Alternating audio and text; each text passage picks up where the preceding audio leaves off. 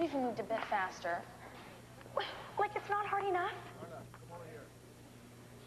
Come on, Court. Let's show them what the Callan girls are made of.